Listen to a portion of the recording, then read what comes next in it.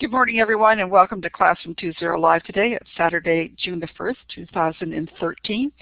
Our topic today is Adobe Captivate, and our special guest is our own Tammy Moore, who you're quite familiar with, who's providing us closed captioning most times. So today she's going to multitask, but she's not going to be able to provide closed captioning to us. A shout out into the chat saying thank you to Lori Moffat, who is also helping moderate today. I want to start a little bit differently because uh, Tammy's going to be taking over the poll questions, so I thought I'd take this time just to give you some background on Tammy and do a formal introduction before she takes over after I do some uh, explanation. So if you haven't really had a chance to meet Tammy, she is particularly important because she spearheaded the development and growth of an online course cooperative that has the purpose of getting professional grade tools for e-learning out to people that want to offer a free line online course for homeschool students. Her project uses Moodle as a learning management system and Collaborate for their live online classrooms. And there's not a lot of turnkey curriculum specifically for online courses, excuse me, and the budget is tight for a donation-based volunteer-run project. So tools for building e-learning resources have been part of the project from the beginning. Tammy will be sharing one of her favorite tools, Adobe Captivate, with us today that we can put to use in our own classrooms, whether we have one computer or one-to-one -one iPad classroom. So I know, Tammy, you'll have an opportunity in a minute to uh, share more about yourself if you'd like to do that. And uh, we send our um, very much appreciation to a really excellent presentation that's just about to take place. So before we turn the microphone over to uh, Tammy, there's a couple of things I want to make you aware of if you're new today or new to the recording. We do have the use of LiveBinder, uh, our Class 2.0 Live. We do a aggregation of all the resources that are shared on the session today. And we have a new setup here on the left-hand side. You'll see the menu. So today our um, LiveBinder link is the Adobe Captivate with Tammy and see a list of all her resources shared underneath it as well as our live binder, like to let you know that we do a tremendous job in, in, recording things for you. I know someone in the chat asked if you can see this recorded. Pass it on to your friends that we have a website, live.classroom20.com, specifically the archives and resources page. You are going to find um, a complete compilation of what's happening today. The full Blackboard Collaborate recording, uh, MP3 file, an embedded video file, the chat log, and again, all the links to the resources that are being shared today. And one thing I didn't point out, if you are sharing any links that are complement today's uh, session, we do collect those links and put them into the live binder. So if you see that chat blank going by very quickly and you miss a link, um, you can go to the recording, go to uh, the, the archives and resources page and pick that up as well as uh, as I said, we'll gather any links that you might have shared during the session. So I pointed out to a few of you a few minutes ago about using your laser pointers. So this is the opportunity to please get your little pointers going and click on the laser pointer, your second option down on the, on the whiteboard tools on the left-hand side of your screen, and let us know where you are located in the world. I'm in St. Catharines, Ontario in Canada. And I know everyone else is telling us where, we, I know, yes, Shambles is in Thailand. It's being different again today. And I know we said someone from Argentina, Phoenix for Peggy, San Antonio, Texas for Kim.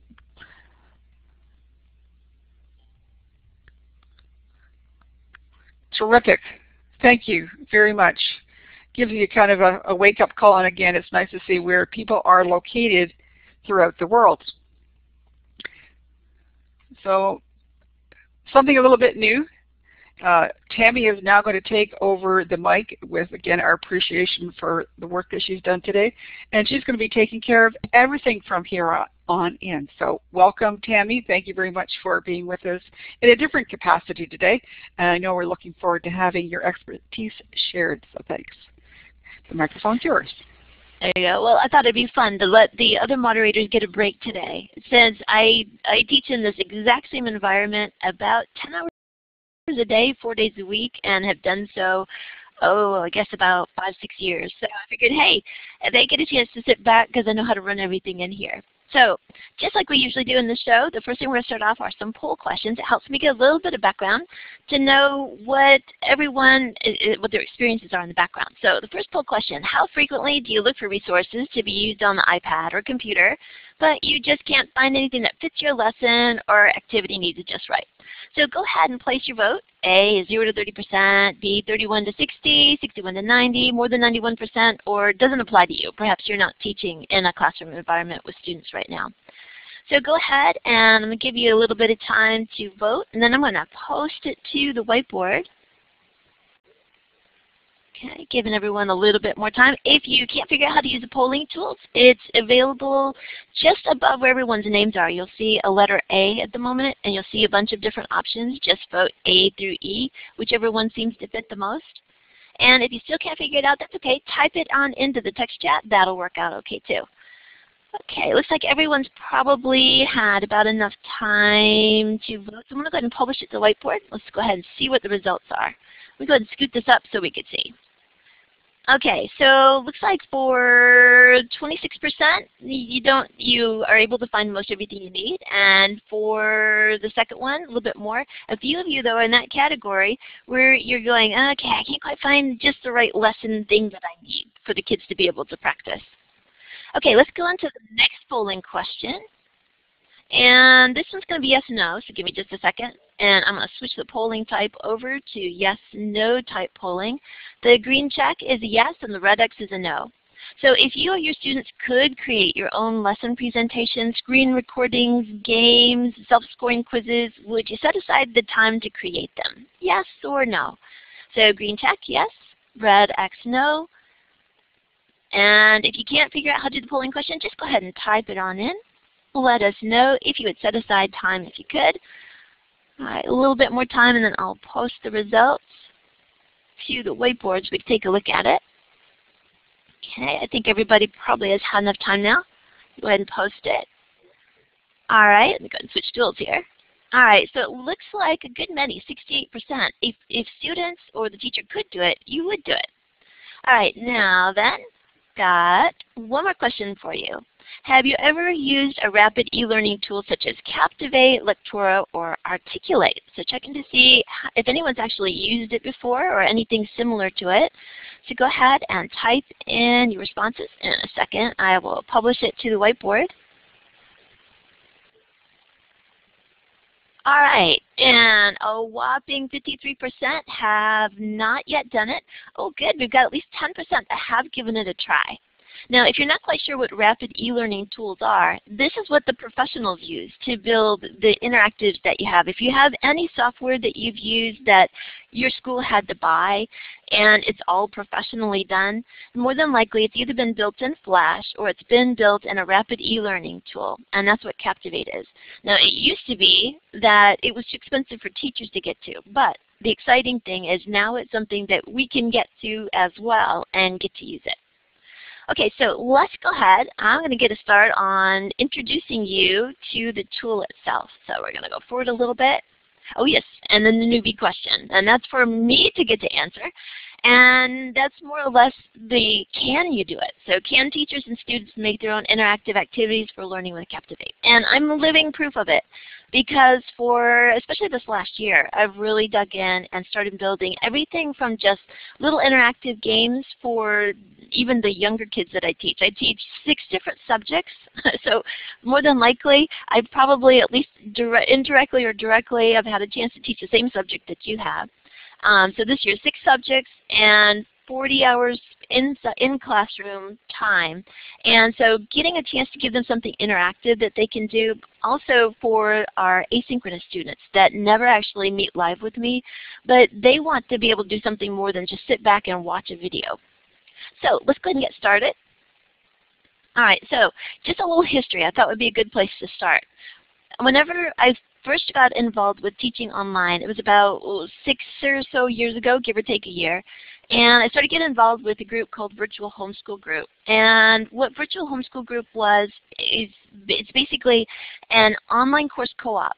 So that people who want to offer free online courses, they'd be able to do it because the tools are a little too expensive for individuals to be able to do it like they used to. For instance, this online classroom environment you've got here, at the least expensive is about oh, $2,200. So if you wanted to offer a free online class in this environment, doing it by yourself, you couldn't do it.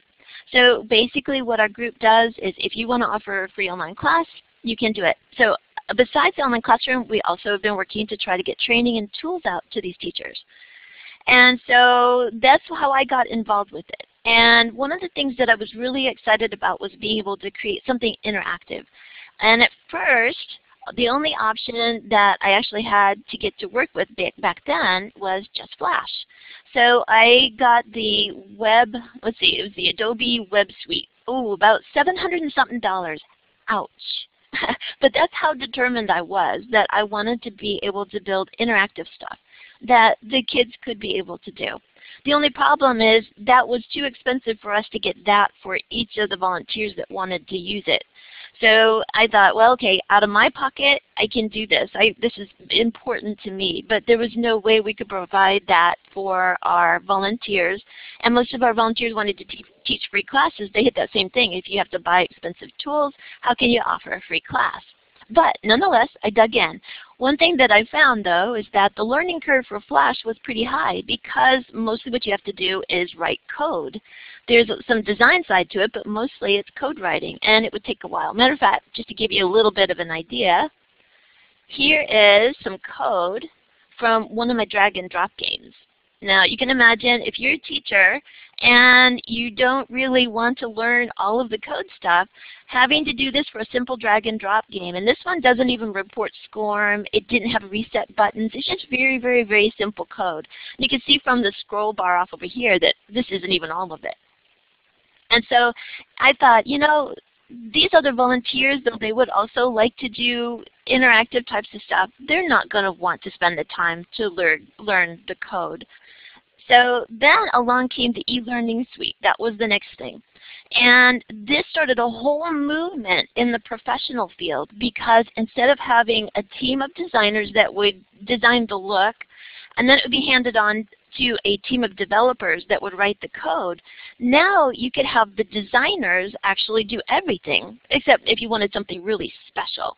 And the developers loved it because then they didn't have to spend all their time on stuff that they felt was wasting their time, and they could really write the code for the complicated stuff. But this is what moved the whole, the whole professional realm into something different, and it's called rapid e-learning. And rapid for good reason. One, you don't need to know how to do code, and two, it's a lot faster than what you would have if you did Flash. But it was still expensive. So I I bought this one. ka-ching, ka-ching, ka-ching. So still expensive on it. So then what came along next, and everybody probably that's got mobile is aware of this one. Do you remember that Apple said, uh-uh, no go on, on, on the iPad, no Flash, no browser plugins whatsoever. And that created an entire shift in the online world for people who create interactives because Flash used to be useful for everything. And the e-learning suite would output to Flash format. Well, with the movement now toward HTML5 so that you could get interactive stuff on the iPad, now the e-learning suite, or Captivate, which is the key thing in it, the Captivate, they now output to HTML5 as well as Flash. So if you're on a desktop browser, it will automatically detect if you if the browse if if your device has got Flash, and if it does, it serves Flash. If your device doesn't have Flash, it automatically serves up HTML5. So now those mobile devices are able to work with these interactives. You make it once, and then the software does all that's needed to be able to make both formats. Can you imagine if you had to learn code for both, how to make something in Flash and then had to make it again and learn how to do it in HTML5? Eee. no fun there. So it's nice to have one device that does it all. But the one problem that we still had was, okay, well it was still kind of expensive because buying the box copy, you had a big upfront cost.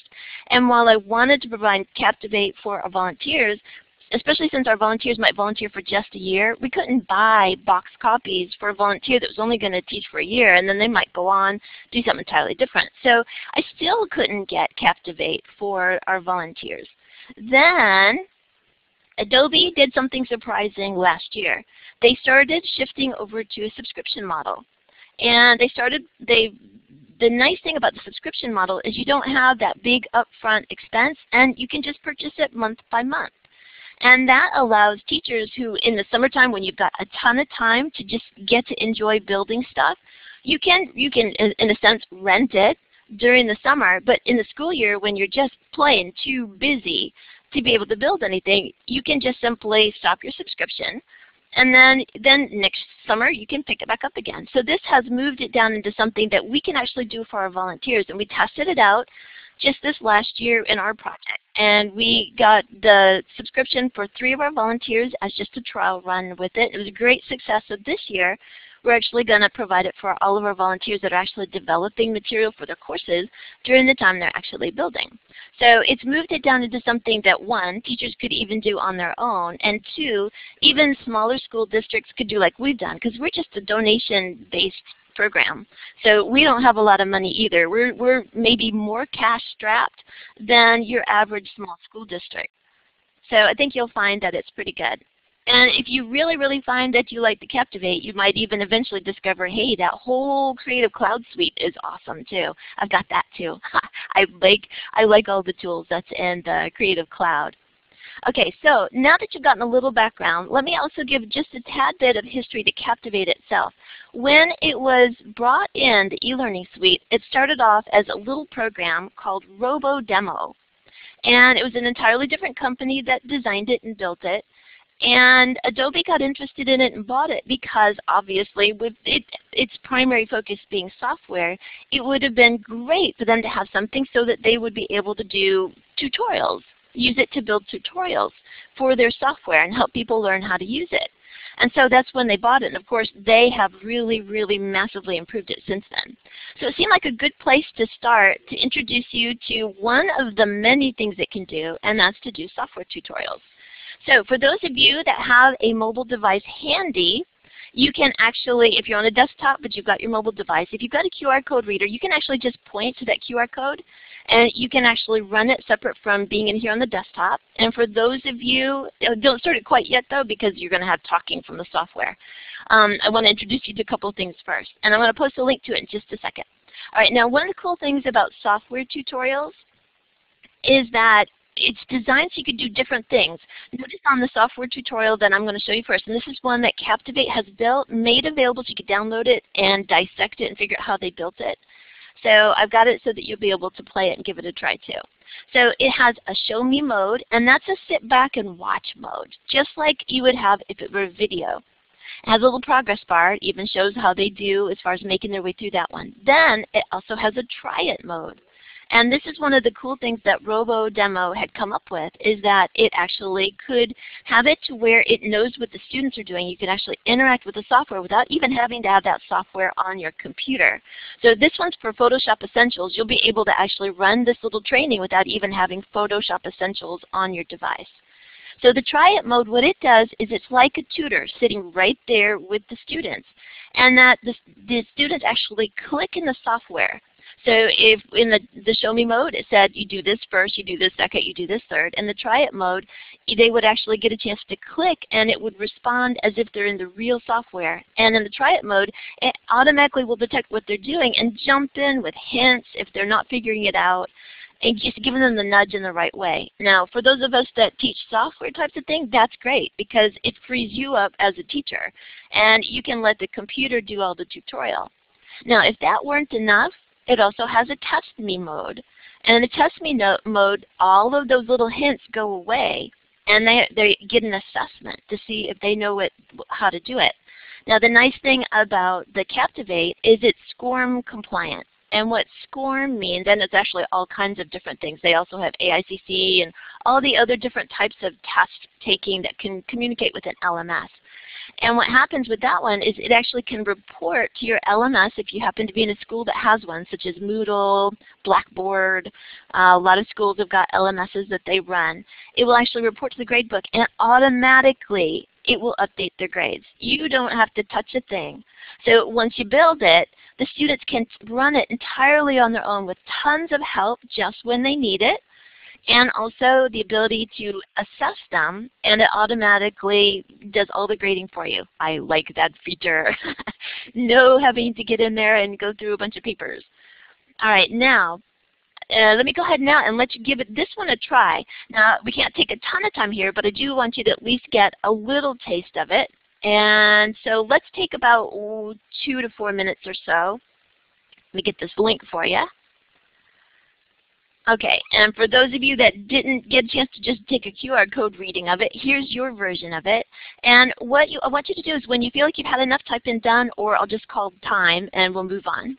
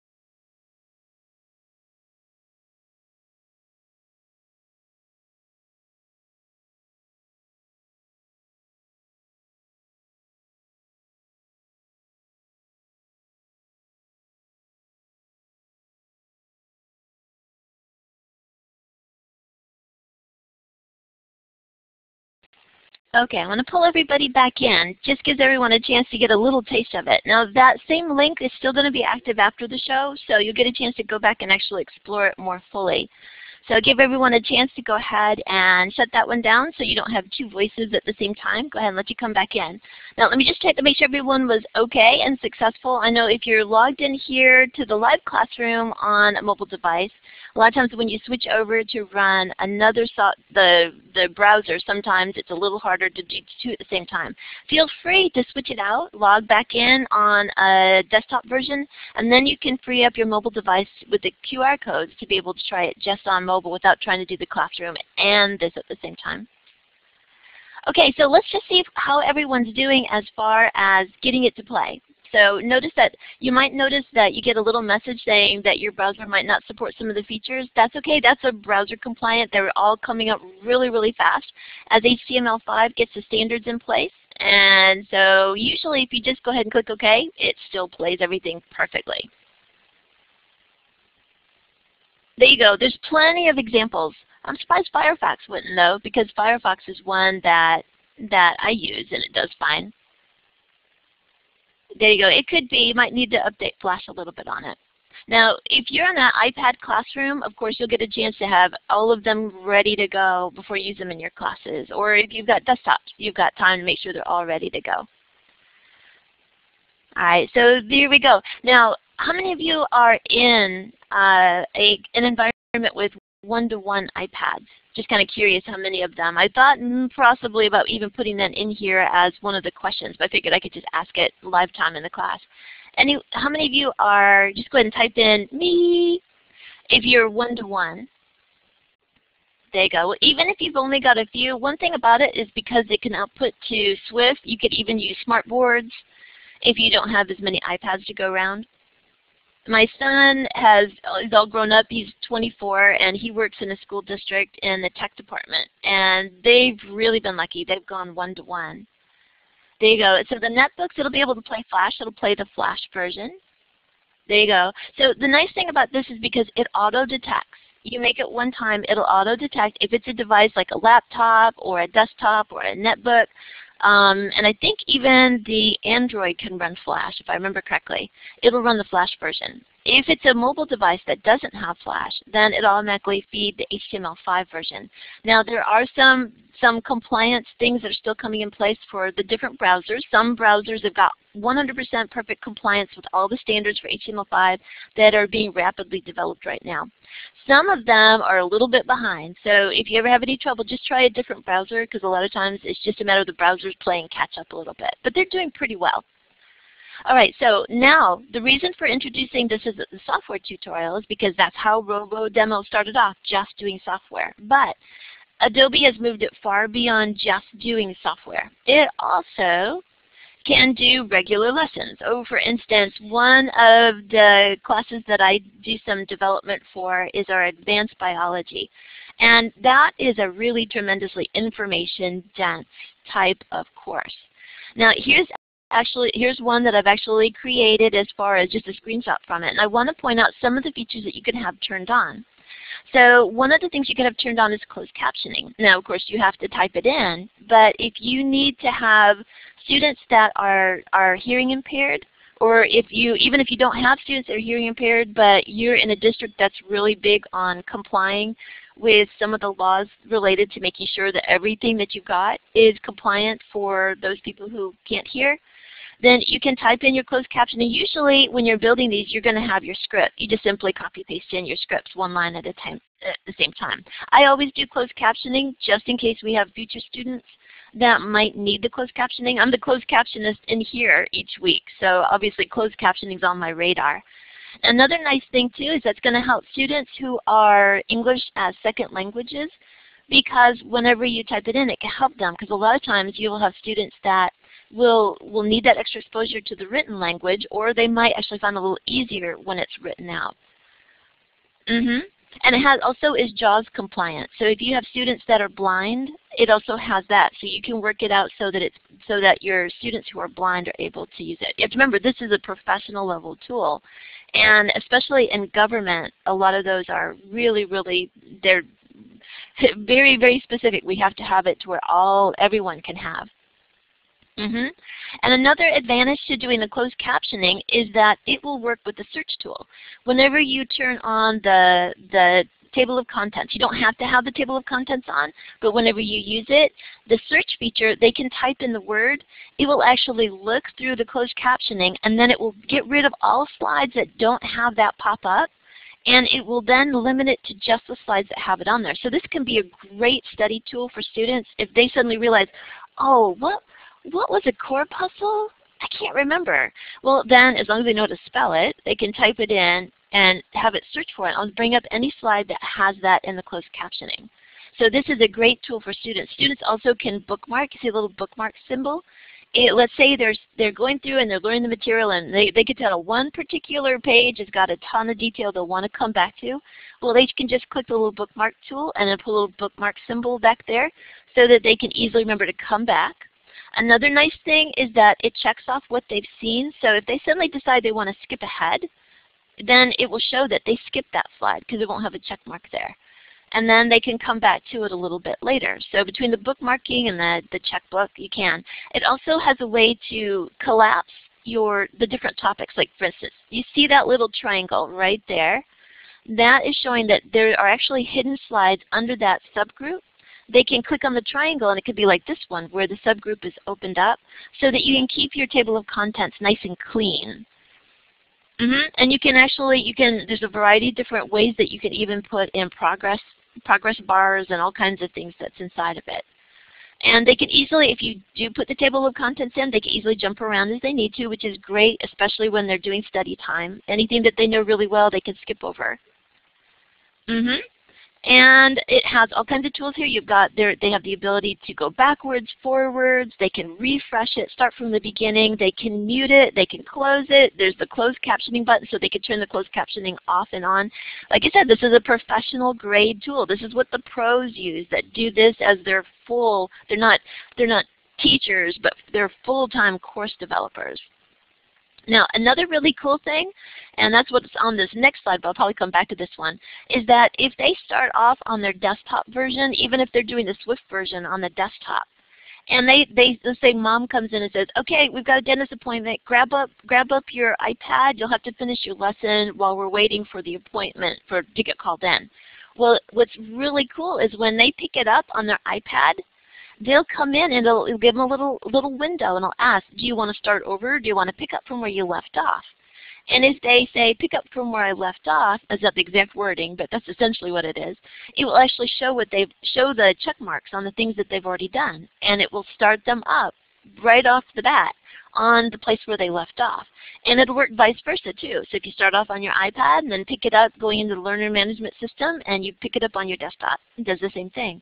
And even, even if they just have a mobile device or they just have a desktop, it will remember where they left off. So the next time they come in, it might be weeks later, as long as they're coming in on that same device or if it's a mobile device and it's connected up to their desktop then it knows that they've already done a little bit of it, and it gives them an option to pick up where they left off. So very, very, very powerful tools there.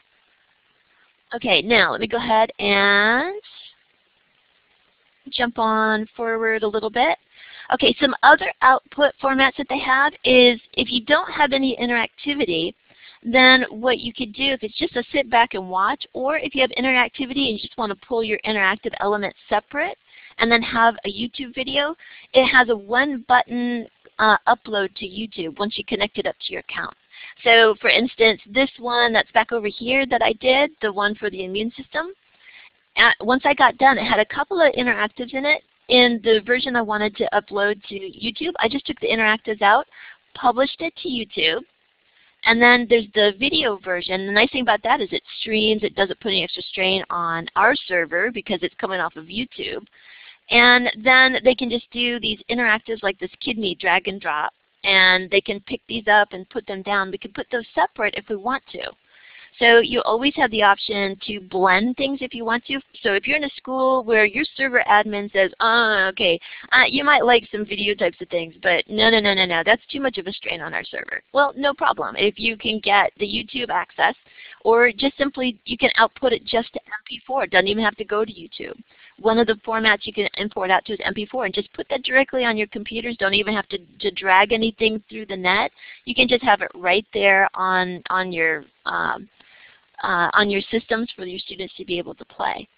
And so you can have it either way, with interactivity embedded in or with interactivity separate, so you can do an MP4 video for those uh, elements that are not interactive. Okay, now next thing that we're going to talk about is this is the branching view, and it shows how you can really customize things. Oh, for instance, you might have everybody, everybody starts out on the same screen, but let's say on this screen right here, and I know it's really tiny, but on this screen you give students the option of either doing this, this, or this. Well, they can take those options and notice how everything can branch off of it. So you can create everything from, oh, for instance, those you know those stories that you can choose your own ending kinds of things. You can create, have your students create stories where the it's very interactive. The, the the reader gets to select what they want to do at the next point, they could branch out. So that's a use of this that you could do with your students. So if you get one computer in your classroom with Captivate, you can set even just that one computer up so students could build things on it. Um, it uh, can also work for if you just wanted to have it to where students can choose different activities. And then they can get instructions on how to use the tools for that activity or put that. See, it's really easy to individualize and let the, let the students pick what it is that they want to do as they go through it. And they don't have to see all the slides for the things that they don't want to do. They just simply see the parts for what they do want to do. Now there's another advantage to the ability to be able to branch, and this is brand new in the most recent version, in that now you can pre-test students at the beginning. So when they first fire up something, they can answer some questions and based on the score they get in the pretest, they can be sent to the basic branch, the average branch, or the advanced branch. So you can meet the needs of each of your students once you've got it built. So those that need remediation, you could send them to getting those basics that they need to have that they just don't have yet to be able to do the work that the average student could do. And you can still take those advanced students and take them way beyond what you would do otherwise And each of these can have remediation. So, so say pretest said average, but once they started working in there, they started, they, they seem to have some trouble. You can set it up with remediation that will help them out as they're working through it. And at the very end, you can use SCORM as one of the output formats. And what that will do is that will report scores out. So if you have an LMS especially, it's nice. We, I, we, we have an LMS for what we do. And you don't have to touch the grading. You can let the computer do all the scoring. So that's what's really, really nice. Oh, no, no, that's what I'm going to tell you about at the, at the end, the subscription model. That's if you buy it. And actually, uh, Captiv uh, Adobe is leaving the box model version of it and they're going to subscription. And that's why now I feel like I can tell other people about it because you don't have to pay the big money for the for the, the box copy. So hang in there. You'll find it's quite affordable. Okay, now another nice thing that Adobe has done is is education is now very much on the radar for Adobe. And they've created something called the Adobe Education Exchange. And oh, it is nice, it is flashy. The nice thing about the Adobe Education Exchange is that this is where we can come in as educators and what we build we can share with other people. So I'm going to go ahead and post the link to the Exchange, but I'm also going to post the link to the Exchange that's my page there, and you'll find that I have got all kinds of my Adobe projects there. You can download it and then with your Captivate, open it up and modify it, change it to whatever way you want. Use it as much as you need. Um, and you take bits and pieces of it that you like and add to it. Now my particular page there, if you want to see what my stuff is, is right there. I also do a lot of illustrations, so a lot of my illustration work is there too. So especially if you're a chemistry teacher, you'll probably find a lot of the stuff that I've got there useful. I've got oh, beakers and flasks and stuff like that where it actually has some transparency so you can see in behind it. So it seems like there's really glass. So you can make some interactives where the students can actually do labs. So there's another good use. If you are a science teacher, you can set up lab simulations where the students actually will, will just like what you've seen on the internet with interactive uh, lab simulators, you can create that too where you can create the, the labs. Uh, one of my big projects this summer is to do virtual dissections for my biology students. So, because we've got a lot of families that go, uh, we're a little squeamish about dissecting the frog and the worm, and is there any, are there any other options? so I'm going to build a, an, a, a simulation of dissection. So they'll go in and use the tools, they'll learn all sorts of things, and you can build that with Captivate. Okay, so I want to let you know that the exchange is there. It's got all kinds of resources. All you have to do to find stuff specific to Captivate is click on where it says resources, and I think I actually have a little pull out here. Let me go ahead and do that. All right, I'm going to just position this so you can see a simulation of what it would be like on the web page. So you click, click on resources, and then you can do the little, the all products, and you can select Captivate. And then you can see everything that's been shared by other instructors for Captivate specifically. And download it, and then you've got the files that you can go in and modify and change. And they have all kinds of other software. You can also sort it by resources on different subjects that you want to do or different grade levels that you want to do. So it has a really nice sorting feature in it. There you go. And I think you have to probably sign up, but it's free in order to in order to I know in order to add something you have to sign up might have to also sign up in order to download something. I'm not quite sure on that one.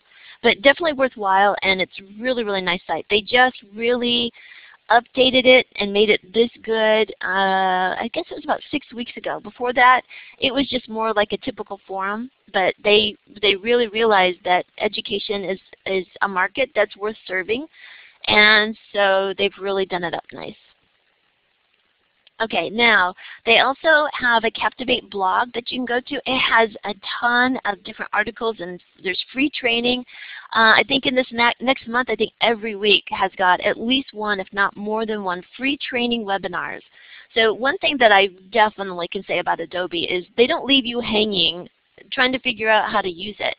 They, they have continuous free webinars for you to go to and you can go in and, and see how to do it. And they cover everything from first time, this is the first time you're going to make something all the way up to the really advanced users that are using advanced actions where you can actually do some programming in with it so that you can have it uh, if, if else types of statements and things that's in the background. Okay, now let me get you some links here related to the Captivate blog. Here's the Captivate blog link for their homepage. Oh, I see Peggy's got it already. They also have a specific uh, tutorials page. Let me go ahead and get that one up there too. Okay, one of the pages on the blog site, that's for their tutorials, and they try to group them all together there.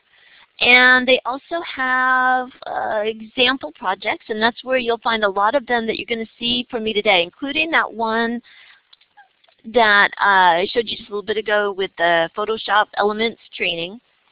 All right, so several different resources. They don't leave you hanging. They don't leave you alone. You've got all kinds of places you can go to. They've got a Facebook group page. They've got forums at Adobe. If you get stuck with something, usually you can get an answer right away. If it's a technical thing, I found that if you go to the Adobe forums for Captivate, you usually can get an answer within an hour. So you've got a ton of support both from the community of other users as well as from the Captivate team itself. And so you're not going to be left struggling trying to figure it out. Okay, and seminars for the next month or so. Let me go ahead and put that one up here. If you're wondering, okay, well, this would be my time to get to try it out. And they do have a one month free trial too, by the way.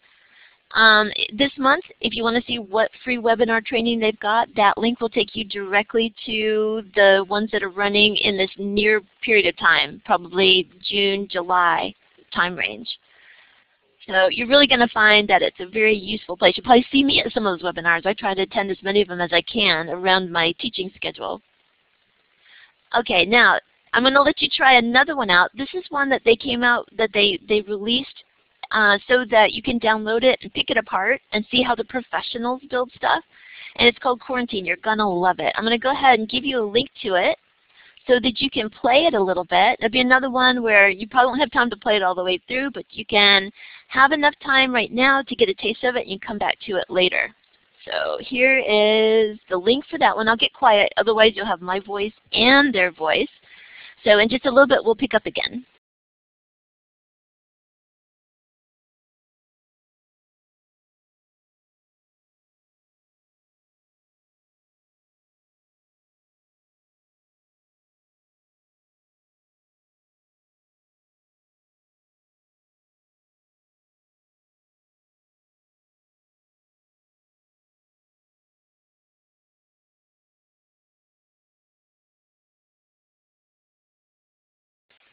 All right, I'm going to pull you out. So come on back in. Go ahead and close it down. You can continue it a little bit later. You can come back in.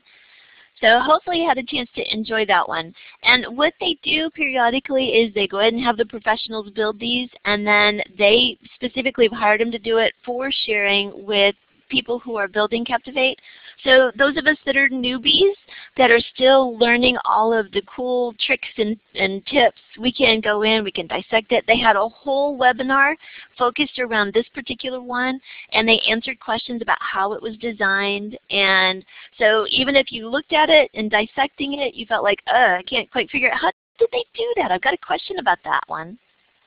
That's okay. If you can't open it, it's probably browser related. Try a different browser. And whenever I create create mine, and I think also for them, they've been targeting primarily tablets. But you can, when you build it, if in your classroom you prefer to have your students using iPhones, you just build your lesson set to the scale and size for it, and then target for that one. Mm -hmm.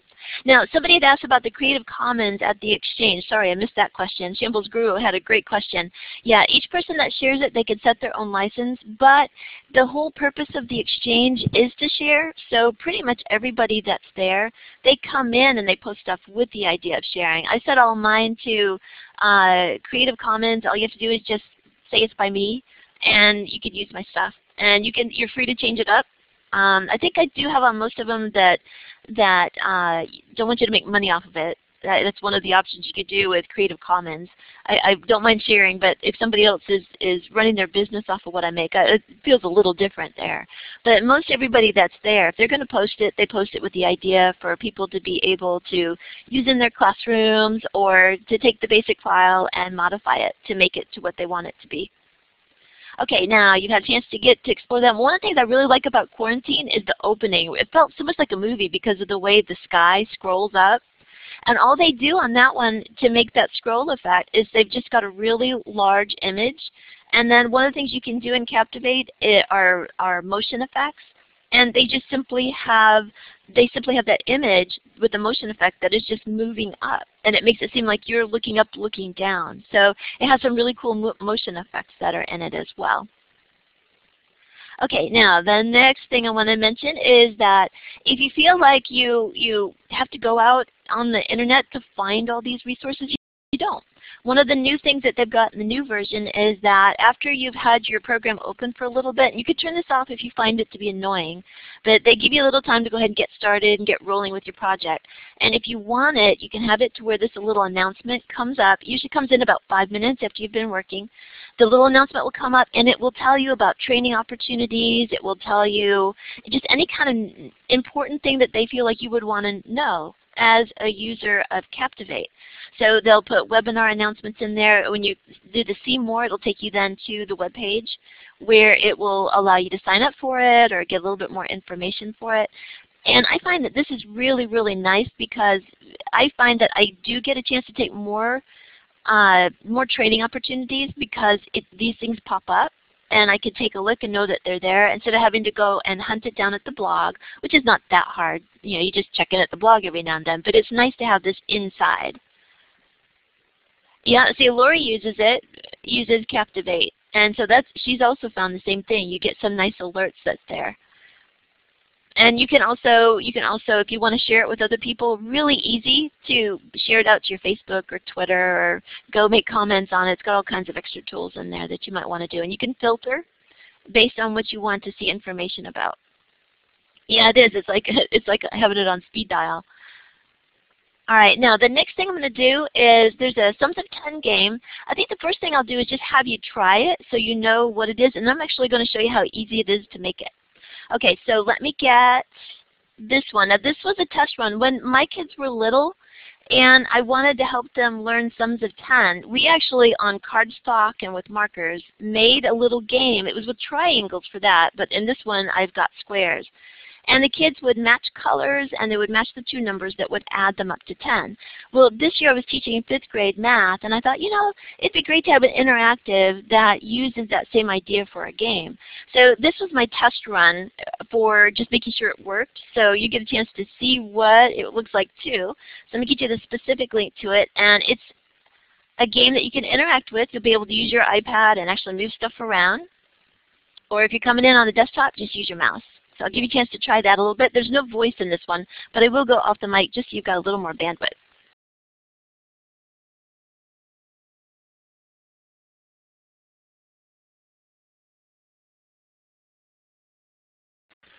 Okay, you might not have finished all the way, but I'm going to go ahead and pull you back in. I just wanted you to just get an idea of what it's like. I've, I found I really enjoy doing these types of drag and drop activities on the iPad.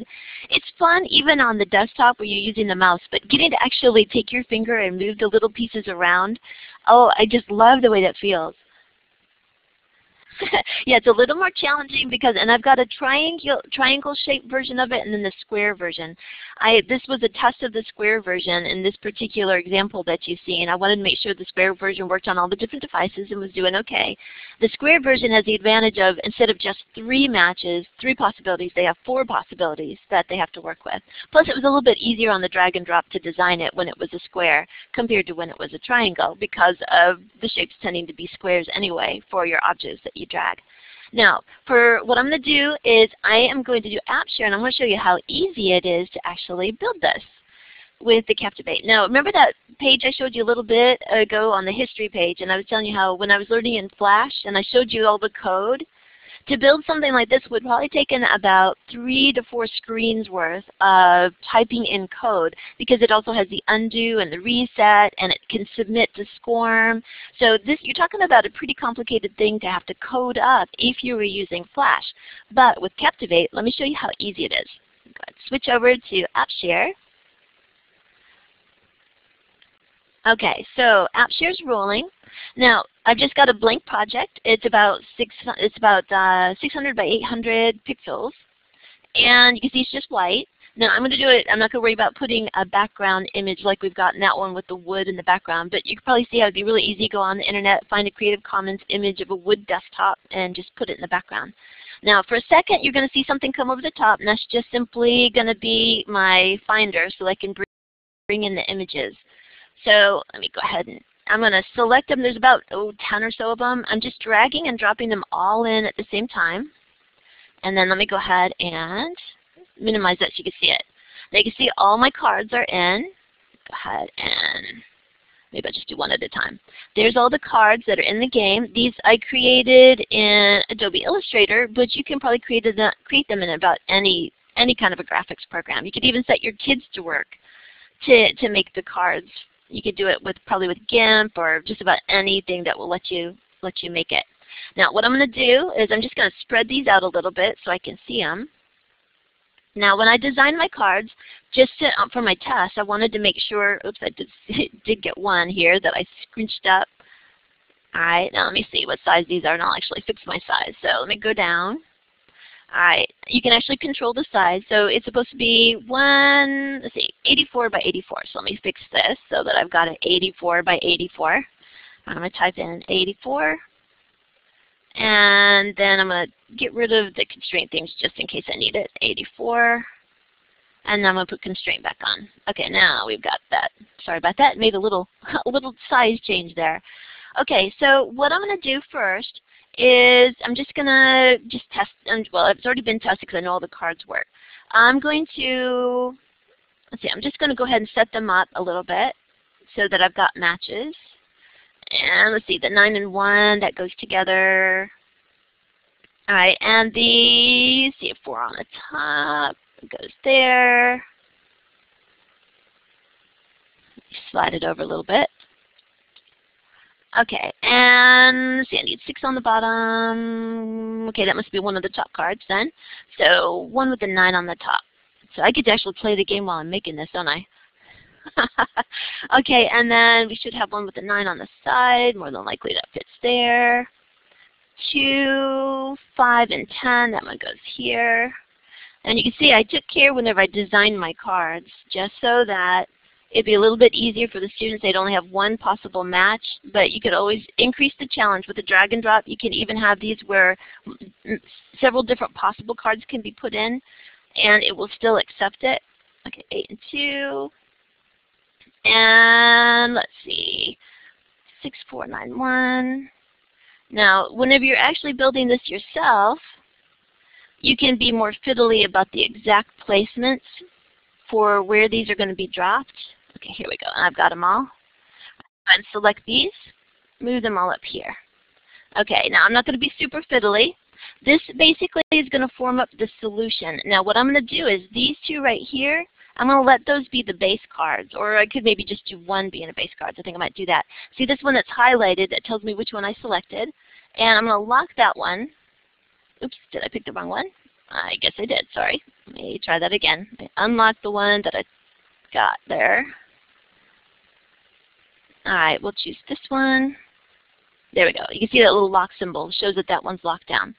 Alright, this is basically going to form up my solution.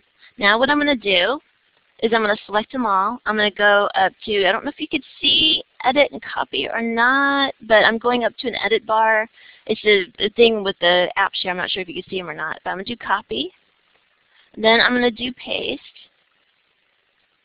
And what I'm going to do, what I'm doing is I'm getting a copy of all those things that I didn't lock down. These are going to be my drag objects. These are my answer places. So what I'm going to do now is I am going to start the drag and drop. And again, you, with AppShare, you might not see the little drop down. And that one's going to be Insert. And I'm going to do Launch Drag and Drop Wizard. Okay, hopefully you can see the wizard. That's one thing I didn't think about until just now as far as as far as whether you can see it or not. Oh, good, good. Okay, now this is the drag and drop wizard. This is going to show you how easy it is. We've got all of our little, all of our pieces in place. What I'm going to do is I'm going to select all of the objects that are going to get dragged. And look how easy it is. Just select them here. And then all of these are drag objects. And then I'm going to click Next.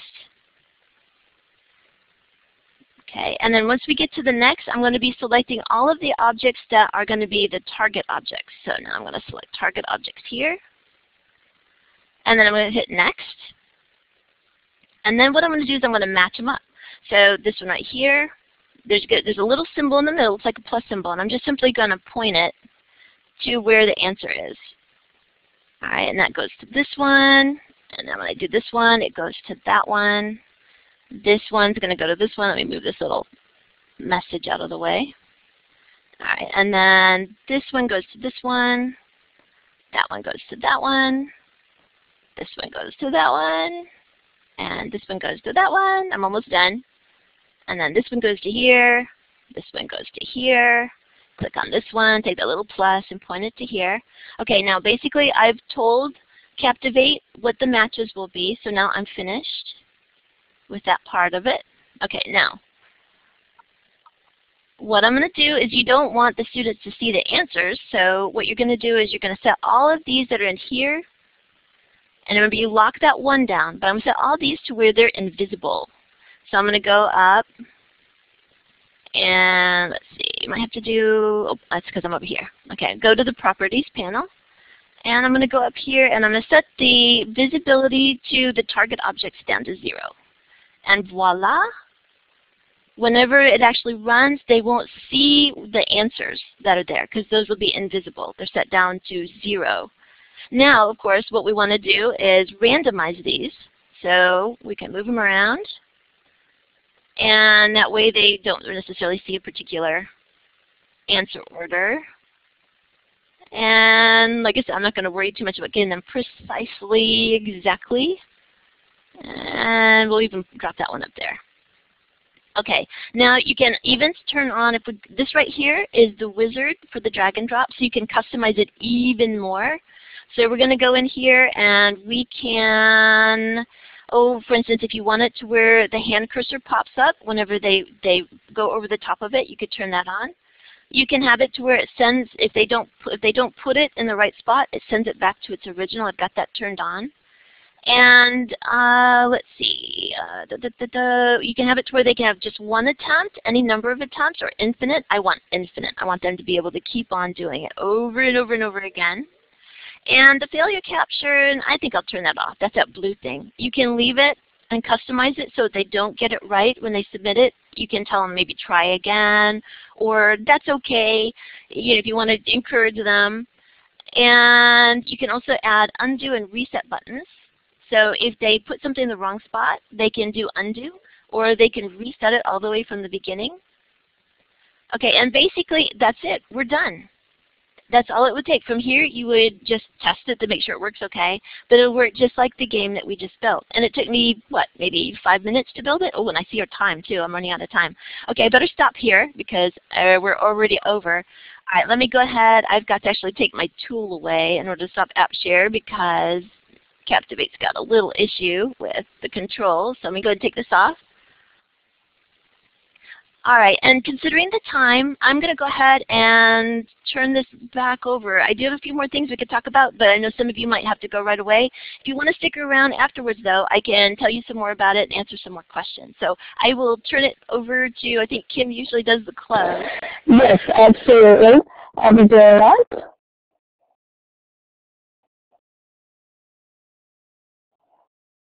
Um, we'll put questions in just a bit. We want to let you know that on Tuesday, June the 5th, Steve Hargadon will be interviewing, interviewing Dan Winkle. And on June 6th, he'll have the virtual book club session with Ben Lyons. And then on June the 12th, he'll be talking with Larry Ferlazzo. So you want to make sure you uh, attend those sessions. And we're going to have Harry Clark join us on June the 8th. And June the 15th, we will be talking about the Summer of Making and Connecting and the National Writing Project. And we'll have Christina Cantrill, Paul O, Paul Allison, um, the NYC New York City Writing Project, and Carolyn Fassenport, which will be a very fascinating discussion. And June the 22nd, we will not have a show uh, due to ISTE will be in San Antonio, and that's the day of the Hack Education and Conference Day. And June 29th, where we have things um, in the works, I will let you know for sure on that topic. And we want to let you know that uh, just a few weeks or so. Can I to that. jump to that one if I could? Sure.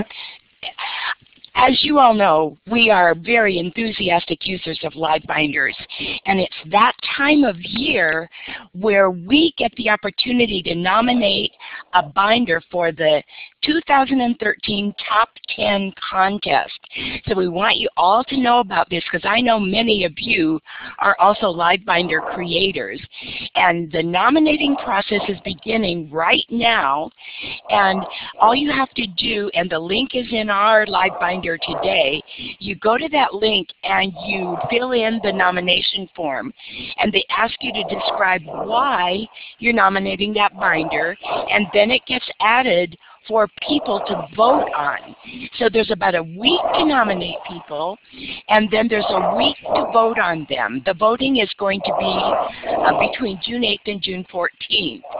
And the, they have some awesome prizes. The winners receive a top 10 10 label on their binder, and their binder gets posted on the top 10 shelf and they receive bookmarks featuring their binder with a QR code for sharing.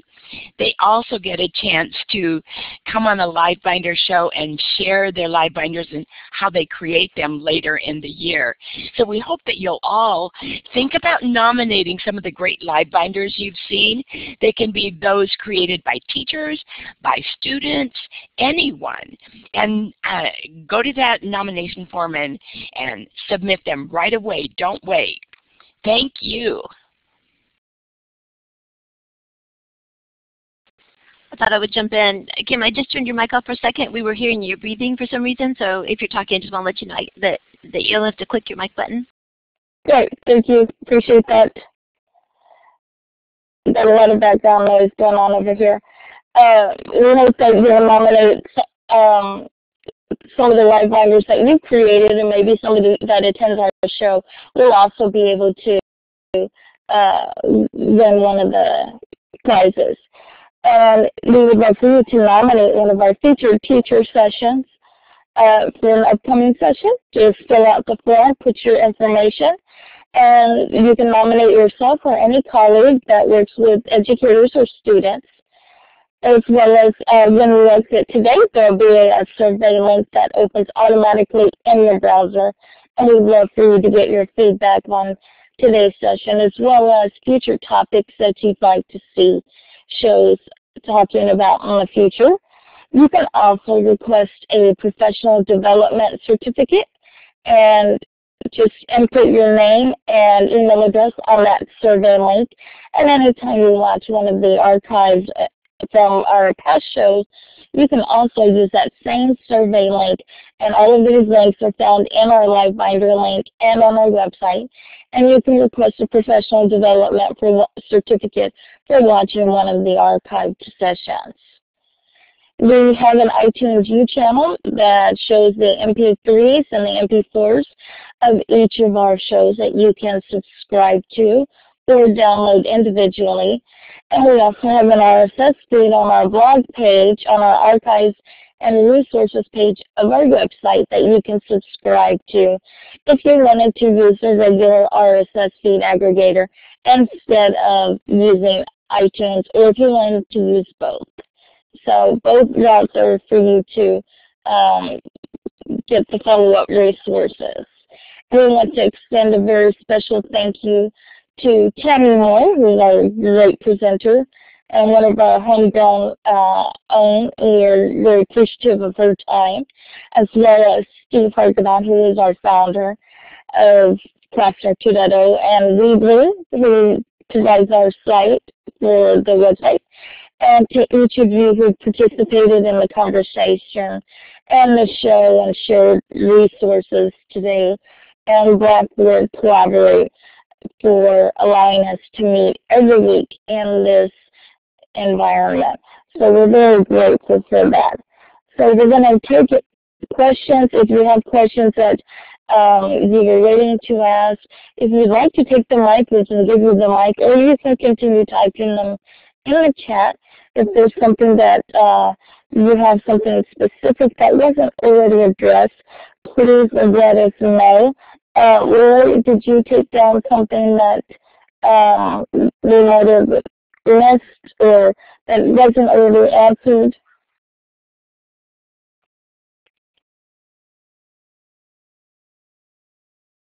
I know one question probably everybody has is the cost, and I ran out of time. So I know probably everybody's going, okay, well, how much does it cost for that? How much is it? Okay, for the Adobe Captivate doing the subscription one, for one thing, you get one month free.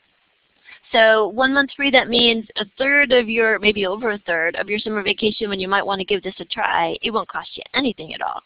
And if you do it for, if you do it on a month by month plan, which would be good if you are so busy in the school year you couldn't possibly build anything, I would go for this because you can drop your subscription. So you can get June completely free, and then July just pay $29.99, and if you've got any time in August, well, you can keep on going and then you could drop it and then use it again next summer. It'll keep your costs way down. If you feel like, oh no, this is something I am going to use all year round, then you might want to go for the one year plan. And with that one, you just commit to continuing it for the full year, but then it's just $19.99. And no hoops to jump through proving you're a teacher when you do the Captivate subscription. Now if you do the Creative Cloud, um, that's, that's a bigger offering that they've got with all of the other suites that they've got. That one you have to jump through hoops to say, yes, I really am a teacher. Come on, give me the teacher discount. But not on this one. All you have, you just sign up for it. It's just that one price. You don't have to prove you're a teacher. You can get it for $19.99. And so in, to me it's worth it because I really, really think getting access to a ProGrade tool and being able to make the interactive stuff that I love to make. And for right now I just feel like it'd be really useful for teachers. A lot of teachers are doing the flipped classroom. You can make some amazing stuff for your students to be able to use in the flipped classroom and then even use it during your classroom time because of the interactivity that you can build. And with the, the, I've been looking into the new standards for mathematics that are coming up. And you know, there's not a lot of curriculum out there that's already set up for that. And so, yeah, there's a lot of curriculums that say, yeah, we're ready for the new standards. Not. I looked at our curriculum that we're using and the official word is, oh yes, we're standards compliant. But I took a look at the fifth grade that I'm teaching this year and looking to see how compliant it's going to be for us to use it next year for families that are in compliant states.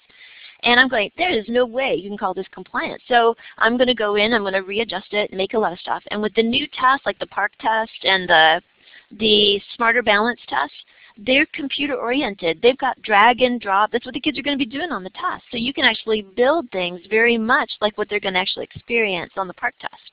So things like that, just to be thinking about. It's going to be worth it. It's worth it. Uh, can two users with their own accounts collaborate on one project? Yes, and I think it's going to actually be more because one thing that they seem to be really interested in is making it to where it's more and more collaborative. The one thing that you have to remember on pro level is that they're collaborating all the time too because a lot of times you'll have someone working on illustrators at the pro level and you've got somebody who's doing the design on the thing itself and so a lot of times there's already teams working on it. So it's really easy to work with that. Now if you go if you have, if you feel like you want to do a whole team, let's say you're in a school and you've got people who are good at the art and you want custom artwork, and you've got people that actually know how to do Flash. And what you might want to do then is get the e-learning suite, which is it's going to include Captivate and do everything else. And then when people make something, the artist people do something in Photoshop, it actually can link up into the, and you bring it in just as a Photoshop file into the, and it even knows if it changes. So you can have somebody working on Photoshop uh, and uh, it has to be on the same computer though, but if you have, if, say you have students, you have one student that's going to use Photoshop and, and do the artwork, another student's working on the Captivate. Well, when the Photoshop student actually up, updates their image, and you, then the, the Captivate student goes in to start working on the Captivate side, it actually will tell you, hey, the artwork has been updated. Do you want to update it in your Captivate or not? And you just can tell it yes. And it all by itself puts the newest version of the artwork in place inside of the Captivate if you've got the whole e-learning suite. Yeah, same with if you same with other things it integrates with. It, it, and it also has a, if you do the e-learning suite, It also has some really nice sound stuff. There's sound built in. You can do recording from inside of Captivate, but if you want to go way up and above and you want your students to add sound effects, so for instance, let's say they're doing a story and they want it to sound like at one point there's a character on a telephone, has that telephone sound. Well, if you wanted to do it up bigger than Captivate and get the whole learning suite, then your kids that are doing the sound side, then they could do the special effects that are in Adobe Audition, and um, and they could get that those cool sounds added in that takes special processing to do, and then it auto updates into the into the Captivate too. So that it gives you a little bit of an idea of, teams working together on it. Um, the next one, so games are still available if you aren't currently paying. Oh yeah, yeah. See, when you hit publish, it goes out to an HTML5 file and a SWF file if you tell it to do both. And you can you can upload it to a YouTube. Now, if you do the trial, I do want to let you know on the trial version, it expires when the trial is done. But it does let you try it, see if you like it, and if you get it, then the the trial, then you can keep the trial. The, once you activate the trial, then those after that are always going to be available. They're not going to expire unless you want to expire it. You can actually set it to expire. You can even password code your interactives if you need to. If for some reason you want only students, certain groups of students to do a particular interactive, you can actually add a password level on it.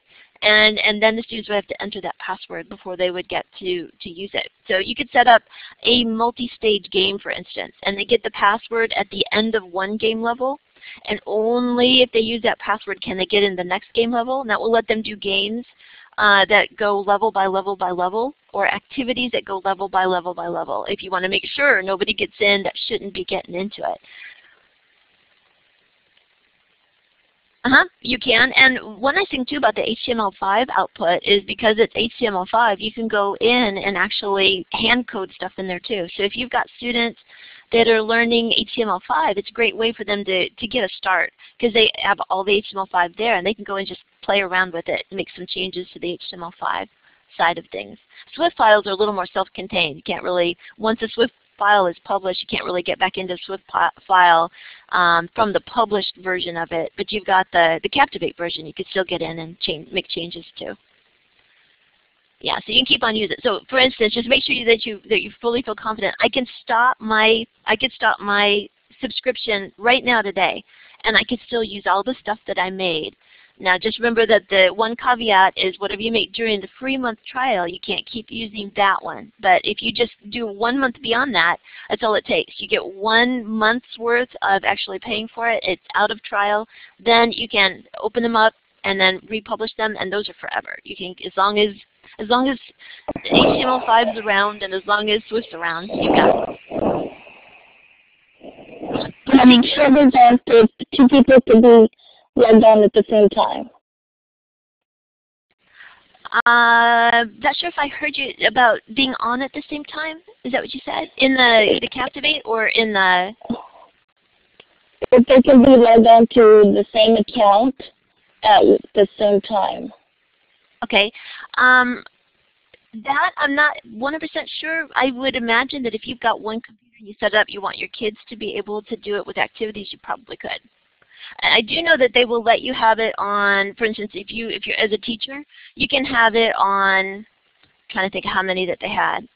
Uh, it was at least two computers that you could have it on with that one let me make sure. Oh, and one thing I wanted to do before before people started going too far is I want to let you know that um, the there's a whole bunch of examples inside of a file. I originally set this up so that I could invite our families in to help us with beta testing but I just basically added some stuff on for everyone here today. But it'll stay. There'll be beta tests. You'll see brand new stuff throughout the year going in that I'm beta testing.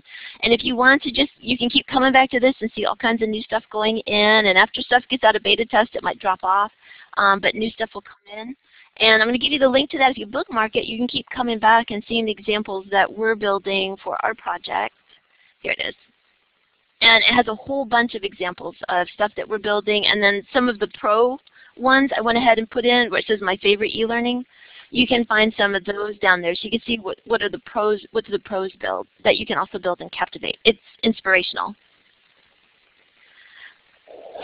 And there are other products out there that do some of the similar things. It may not have as many features or it may not be as easily accessible or able to create these things.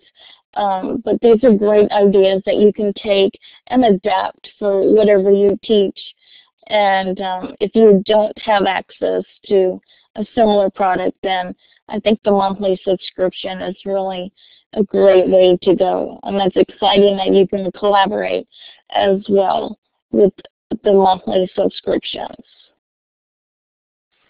Okay, and then let's see, Desiree had asked about any particular people that I follow on Adobe Exchange. I think you can actually see each other's what who who they're following.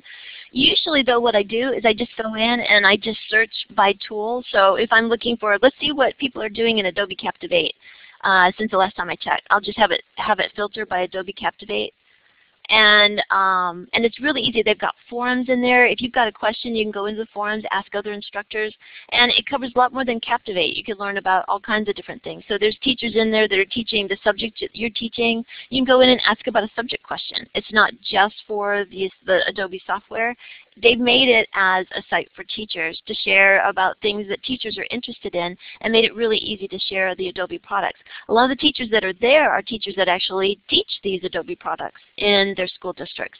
If your school district has Adobe products such as Photoshop, um, Flash, Dreamweaver, um, then you might want to let your teachers know that that's there for them. They have they have whole curriculums you can download for Photoshop and Dreamweaver and so they they'll probably find, oh wow, I don't have to make I don't have to make so much stuff. There's a lot of stuff here that other uh, other instructors have built, even whole curriculums that other instructors have built, and they make the whole curriculum available. Uh, let's see, when you play, yeah, and the QR codes there. The QR codes are also in that link that I gave, that master link. Um, that Q, the QR codes are there for you there too. So if you if you like to be able to have it up on your desktop and run it in your desktop version, and then point your QR code reader on your mobile to the QR code, you could run both side by side. hey, I understand. I teach 40 hours per week in class time, six different subjects from fifth grade all the way up to high school level sciences.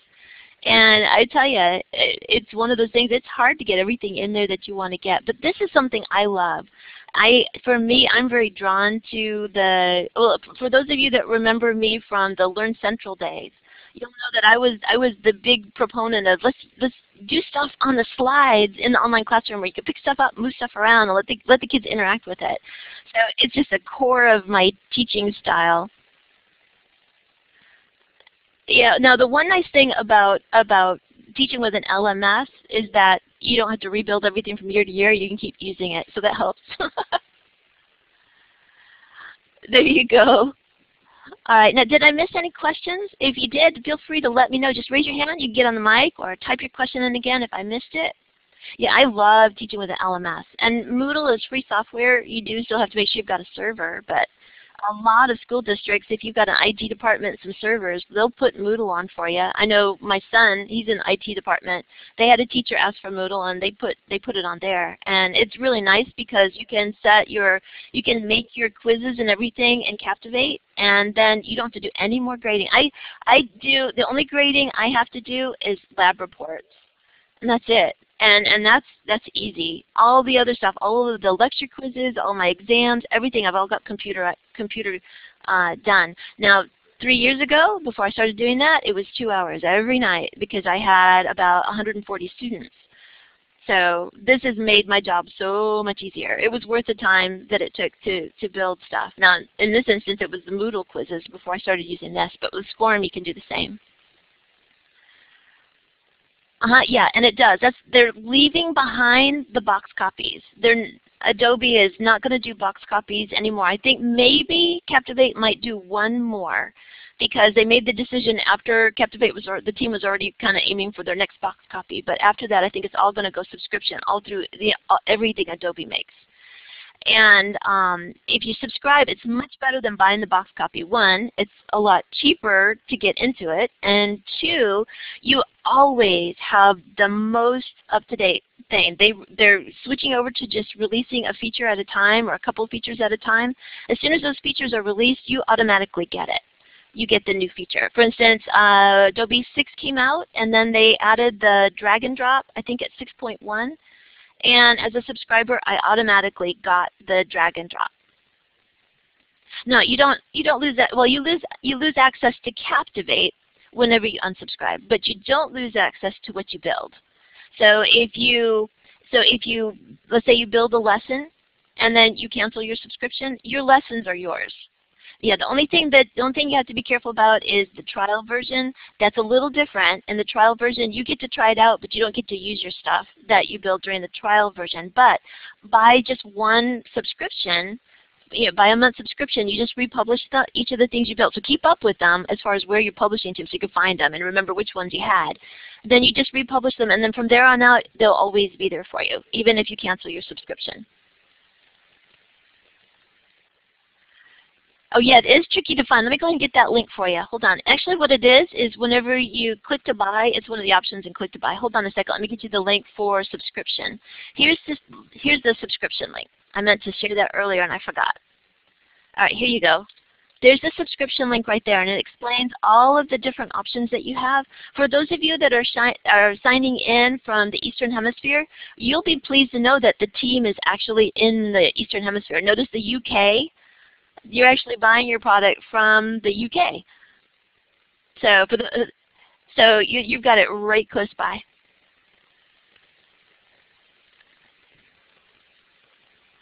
Mm -hmm. Um, are there any last questions before we let Tammy go?